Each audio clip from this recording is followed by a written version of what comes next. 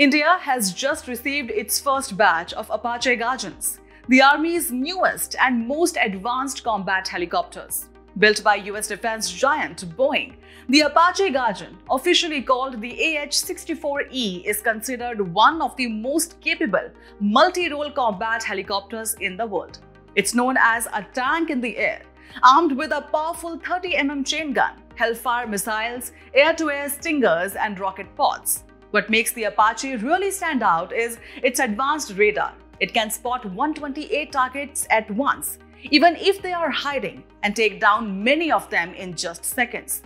It also has night vision, can connect with drones in real time, and fits right into India's modern defense network.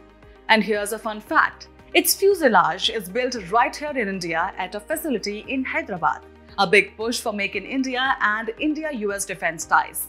Worldwide, Apache helicopters have seen over 1.3 million hours of real combat action, and now they are ready to back Indian soldiers on the front lines. For more such content, visit our digital current affairs.